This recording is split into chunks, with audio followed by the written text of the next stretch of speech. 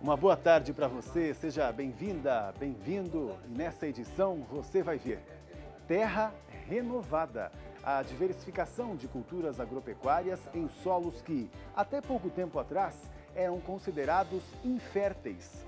Você vai saber como devolver vida à sua principal ferramenta de trabalho. As informações para o futuro do agronegócio agora no Planeta Campo.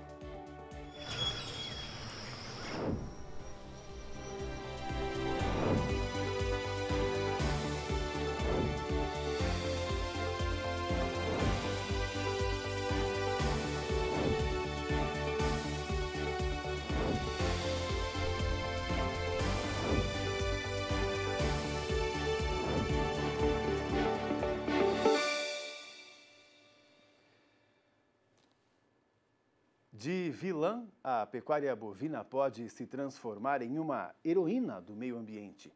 É que existe um modo de criar gado sem degradar as terras. Em vez disso, deixá-la saudável para, inclusive, trabalhar com mais culturas. Vamos conferir um exemplo que a Beatriz Bigarello e o Cláudio Funari conheceram e mostram pra gente. Juiz de Fora, Minas Gerais uma das regiões urbanas mais conhecidas do Brasil. Aqui fica uma das 28 fazendas mais sustentáveis do mundo, a Triqueda. Esse é o Leonardo Rezende, terceira geração da família. Quando assumiu os negócios em 2004, a pastagem estava em situação decadente. Ninguém acreditava muito no potencial das terras, por serem de muitos relevos, o que dificultaria a pecuária. Para recuperar a lucratividade da fazenda, o produtor rural não teve dúvidas. Resolveu apostar em um modelo de produção sustentável. Implementou o plantio silvipastoril, pastagem e floresta integradas. Com essa adaptação, veio também a pecuária regenerativa. E a gente usa o gado como um elemento de revitalização do sistema. Ao contrário do que muitos pregam, que é, hoje o gado, o boi, ele é um vilão ambiental, o vilão é muito mais o manejo, a forma que o homem faz a gestão desses animais. O projeto acredita que gado e homem podem contribuir como elementos de revitalização dos ecossistemas. A pecuária regenerativa ela tem um manejo todo diferenciado, né, bem diferenciado do que a gente encontra hoje no convencional, né, no mais comum.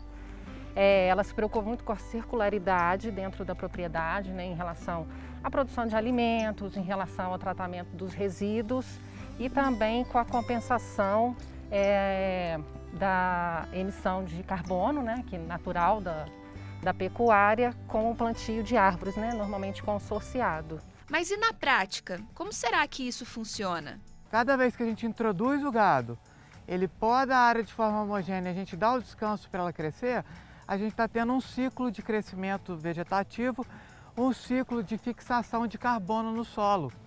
Só que hoje os pastos muito grandes, pastoreio contínuo e é, piquetes às vezes mal divididos, o herbívoro como um animal seletivo, ele come o que interessa a ele.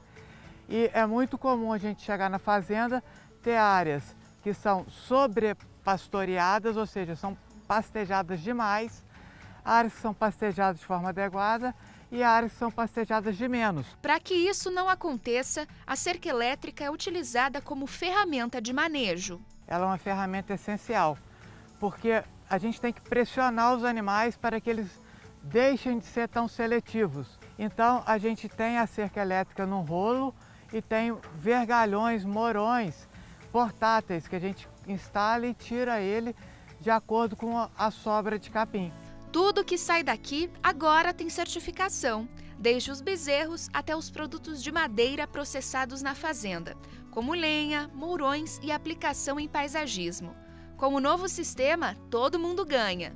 Além da preocupação ambiental, a pecuária regenerativa é capaz de dobrar a produtividade em comparação com sistemas de manejo tradicional. Aqui na Fazenda Triqueda, através da venda de bezerros, o lucro que antes era de 600 reais por hectare, agora é de R$ 1.300. E os benefícios não param por aí. A sustentabilidade garante o futuro. Qual que seria o primeiro passo?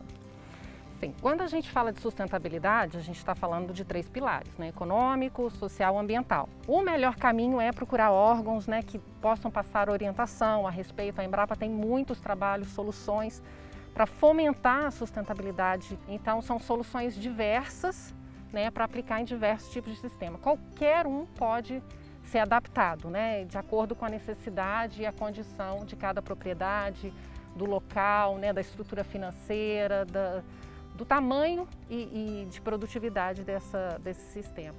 Gostou da ideia e quer aplicá-la na sua fazenda? E quem nos ajuda a entender melhor esse tema é o pesquisador da Exalc, o Flávio Portela Santos. Boa tarde, Flávio. Bem-vindo ao Planeta Campo. Boa tarde, Pablo. Muito obrigado pelo, pelo convite. Um prazer muito grande. Flávio, eu queria que você contasse um pouco para a gente sobre talvez o que seja um engano aí que muita gente pensa, né? Porque está é, tá se falando muito nessa diversificação de cultura, né? É, no mesmo espaço, e aí muitos podem achar que isso já é o suficiente para eu recuperar a minha pastagem. Mas não é bem assim, né? Eu preciso também investir antes, então, num tratamento, não? Normalmente, Paulo, quando nós temos um processo de degradação de áreas de pastagem, esse processo decorre por vários motivos, mas alguns são bem claros nisso. A queda de fertilidade do solo por uma extração frequente de nutrientes na forma de leite ou de carne, no caso da pecuária, sem reposição de nutrientes. Esse pasto vai ficando cada vez mais fraco, mais sujeito à invasão por plantas daninhas, a ausência de controle de plantas daninhas, né? Contribui então para acelerar o processo de degradação e outras práticas de manejo de pastejo, do pastejo em si, que não são adequadas, levam a esse processo de perda de vigor do pasto, de produtividade, de capacidade de suporte. E existe uma série de ferramentas, conhecidas já há bastante tempo, para que a gente inicie um processo de recuperação dessa pastagem, quando ainda há tempo para recuperação. Em alguns casos, a degradação é tão intensa que a gente tem que reformar, ou seja, plantar de novo esse pasto. O que vem sendo usado muito recentemente, né, já há algum tempo, são recuperação de pastagem ou formação, novamente, através de processo de integração lavoura-pecuária. Esse é um processo de integração com áreas uh, de floresta, sistemas tipo pastoril, dentro dos princípios científicos aquilo que eu comentei com você de fertilidade, controle de daninhas e tudo mais. Certo. E aí depois desse trabalho, então, aí também é essencial que eu trabalhe nessa diversificação, já ela é que garante então que esse meu solo depois então ele tenha, né, uma vida longa com saúde?